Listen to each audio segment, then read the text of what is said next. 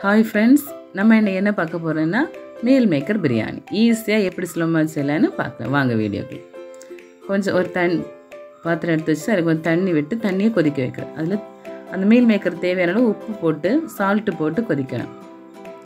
அப்புறம் ஒரு சின்ன கிண்ணம் வச்சு ரெண்டு ரெண்டு கப் அளவுக்கு அந்த மீல் மேக்கரை போட்டு தண்ணியில் கொதிக்க வைக்கலாம். அது கொதிச்சிட்டு இருக்கட்டும். அதுக்குள்ளே நம்ம அரிசி எடுத்துக்கலாம்.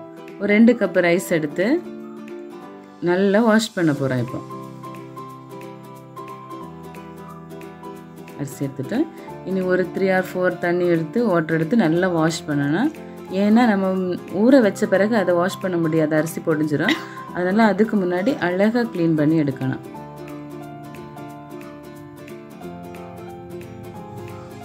நல்லா க்ளீன் பண்ணிட்டு தண்ணி ஊற்றி ஊற வச்சுக்கலாம். ஊற வச்சாச்சு.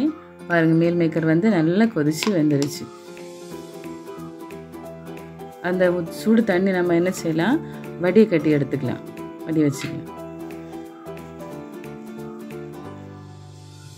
நல்லா எல்லா தண்ணி சுடு தண்ணி மொத்தத்தையும் வடித்து எடுத்துட்டு அதுக்கப்புறம் பச்சை தண்ணி விட்டு சாதா நம்ம யூஸ் பண்ணுற வாட்டர் விட்டு அதை நம்ம வந்து நல்லா பிழிஞ்சு எடுத்துக்கணும். அதில் இருக்க தண்ணி எல்லாத்தையுமே நல்லா என்ன செய்யணும்?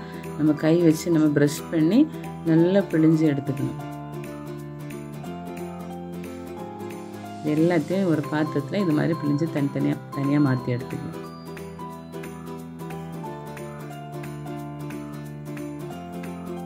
தண்ணியே இல்லாமல் எடுத்துக்கணும். பாருங்க இது மாதிரி எடுத்தாச்சு. இனி நம்ம அதை வந்து ரெடி பண்ணணும். ஒரு ரெண்டு வெங்காயம் ஒரு மீடியம் சைஸில் ரெண்டு வெங்காயத்தை நல்லா சீவி கட் பண்ணி ஒரு நாலு பச்சை மிளகாய் ரெண்டாக வச்சுருக்கோம்.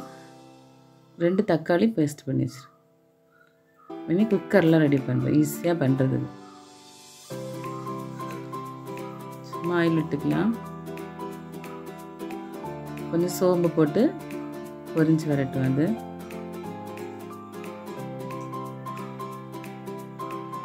அதுக்கப்புறமா ஒரு பிரி பிரியாணி இலை.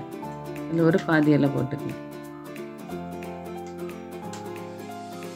அப்புறமா ரெண்டு பட்டை துண்டு எடுத்து அதை பொடிச்சு போட்டுக்கணும். அப்புறம் ஒரு கிராம்பு.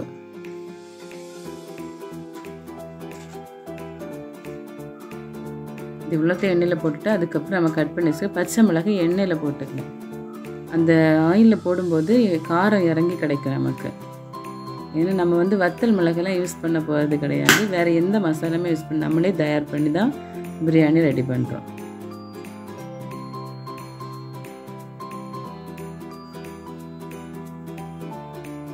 பச்சை மிளகாய் பிரிஞ்சு வந்துடுச்சு நம்ம கட் பண்ணி வச்சுட்டு வெங்காயத்தை போட்டு. வெங்காயம் நல்லா வந்து செகந்து வரணும். வெங்காயம் எவ்வளோ தூரம் வந்து செகந்து வருதோ அவ்வளோ தூரத்துக்கு வந்து நம்முடைய பிரியாணி வந்து ரொம்ப டேஸ்ட்டாக இருக்கும். வெங்காயம் வதக்கும்போது கொஞ்சம் சால்ட்டு போட்டுக்கலாம். சீக்கிரமாக வதங்கி கிடைக்கணும் வெங்காயம் வதங்கட்டும் அதுக்குள்ளே மசாலா ரெடி பண்ணி தரணும் சோம்பு கொஞ்சம் பெப்பர் கரு பிளாக் பெப்பர் அப்புறம் ஒரு ஏலக்காய் ஒரு கிராம்பு கொஞ்சம் பட்டை ஒயிட் பெப்பர் இது இவ்வளோத்தையும் மிக்ஸி ஜாரில் போட்டு நம்ம பொடிச்சு எடுத்துகிட்டு வந்துடும் கொஞ்சம் தனியாக கொத்தமல்லி. ஊற்றி போட்டு நல்லா பொடிச்சு. பாருங்கள் வெங்காயம் கொஞ்சம் சகந்து வந்துடுச்சு. கொஞ்சம் கொஞ்சம் கூட செவ்வாய்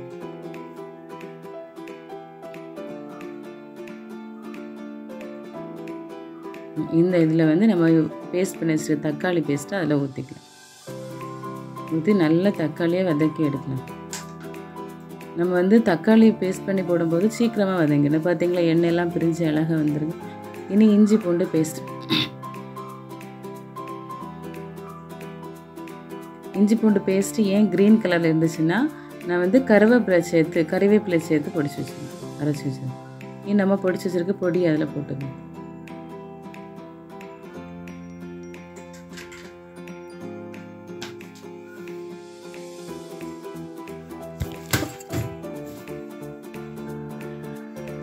இனி அதில் வந்து அந்த மீல் மேக்கர் அதுக்குள்ளாடி போட்டு அந்த மசாலா தக்காளி உள்ளி எல்லாமே சேர்ந்து வதங்கி வர அளவுக்கு நல்லா கிண்டி எடுத்துக்கலாம். இந்த மீல் மேக்கர் அந்த மசாலோட மிக்ஸ் ஆகிறதுக்காக லைட்டாக அந்த தக்காளி அந்த பாத்திரத்தில் தண்ணி போட்டுரும் பார்த்தீங்களா அழகாக வரையாக இருந்துச்சு ஏன் நம்ம ரெண்டு கப் அரிசிக்கு நாலு கப்பு தண்ணி விடுறோம்.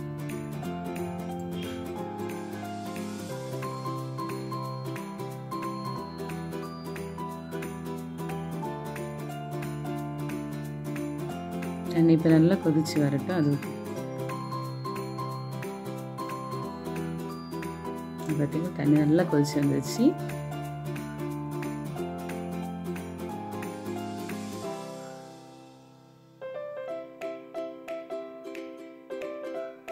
இதில் நம்ம ஊற வச்சு வடிகட்டி வச்சுருக்க அரிசியை போட்டுக்கலாம்.